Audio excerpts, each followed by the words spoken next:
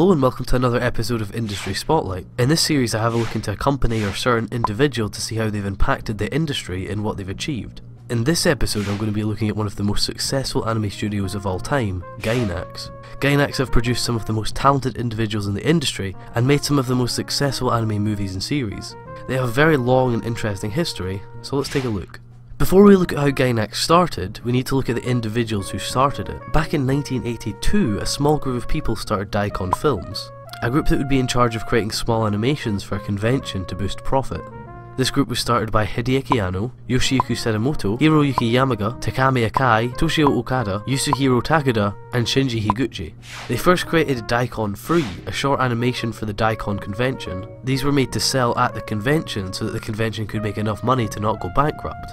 People were very impressed with how high quality the animation was for amateurs, so much so that Studio Nu got a whiff of the project and asked Hideaki Anno and Hiroyuki Yamaga to work on Macross. This gave the group their only professional experience that would become very useful in the next few years. The team would then assemble to make Daicon 4. To create this, the team actually rented out studio space and tackled it with a much more professional manner. After the Daicon animations, the team wanted to take their skills to the next level, so they decided to pitch their studio idea to Bandai, a big company at the time. Through a connection they had at Bandai, their idea was forwarded to the head of Bandai. Luckily, the company were looking to grow the anime side of their business, so Gainax were given 800 million yen to work on the Royal Space Force movie. They were asked to make a pilot for the movie for Bandai before they created the full movie. So Gainax were now a professional, funded anime studio. The name Gainax wasn't meant to stay as their long-term company name, but because of their funding, they stuck with it. Gainax comes from the Japanese word Gaina, meaning big, with an X added to the end to sound cooler. The industry was at a point of big budgets and high quality projects, so the bar was very high for the newly founded studio. But Gainax were completely up to the job and completed the project in 1987. All the staff occupied various roles and the movie was received brilliantly by fans. The movie even made its way to the West. Bandai came to Gainax with a proposition. They wanted to fund a new project, but one that would be a success. They wanted Gainax to produce a show that would sell over 10,000 copies. So, in 1988, Gainax made Gunbuster. Shinji Higuchi was going to be the original director of the series, but due to him working on other projects, he couldn't commit. So Hideaki Anno was brought in as a replacement. This would be his debut as a director, and it was released to good sales. A year later, Gainax would release one of their lesser known projects, a daily TV series named Sakyo Komatsu's Anime Theatre. This was funded by Bandai but wasn't that successful. In 1990 Gainax would work on a new project, Nadia The Secret of Blue Water. There were a lot of complications during the planning of this project, about who would direct it and who would produce it. Eventually Anno was given the director spot and Gainax would produce it.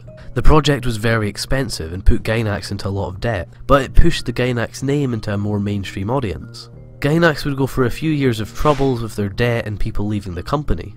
Once they'd cleared up some of these troubles, they started planning a new project.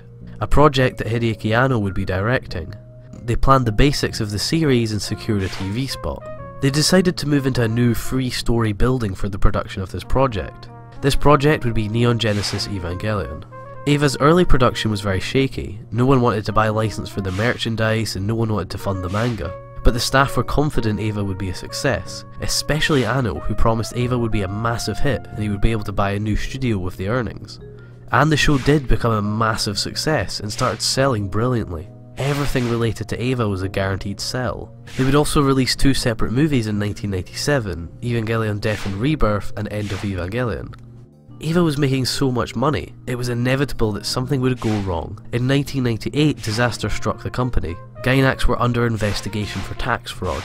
So if you don't know what this is, everybody has to pay their taxes, and if you avoid these taxes and keep the money to yourself, you can get into a lot of trouble. Like I said, Evangelion was making a lot of money, so they could be in a lot of trouble. After a very long investigation, Gainax president Takeshi Sawamura was sent to jail and charged with accounting fraud. He had been saving all of Gainax's profit in cash without paying taxes. This was a big shock to the company and the staff. Most people had no idea of the financial situation. This was because prior to Eva, Gainax had only ever made enough money to keep running. They'd never really dealt with a lot of money before, so it was just something that was never on their minds. The 2000s rolled around, and after a few sketchy years, the company were back into making anime again. Because of Gainax's dedicated and passionate team, the setbacks in the late 90s didn't affect them too much. And they continue to be one of the most active anime studios. In 2000, Gainax collaborated with Production IG to create the OVA Cooly, or FLCL. It was made with the intention to stray away from the usual anime structures and create something unique. They even completely rewrote many of the jokes for the English version so people could understand them. It was positively received by fans and is usually referenced when talking about modern anime. In 2004, Gainax celebrated their 20th anniversary with the release of Diebuster, a sequel to the original 1988 Gunbuster OVA. In 2006, Hideaki Anno left Gainax to found his own studio, Studio Khara. Anno was on a list of many of the original Gainax staff who have left to pursue other projects. One of Gainax's most successful recent projects was released in 2007 as Gurren Lagann. During the production of this series, another one of Gainax's original members left, Takami Akai left both the production of the show and left the company. Panty Stocking was released in 2010. It was another successful Gainax show that strayed away from the usual anime production techniques. In 2011, another studio was founded by ex-Gainax employees. Studio Trigger was founded by Hiroyuki Imaishi and Masahiko Otsuka.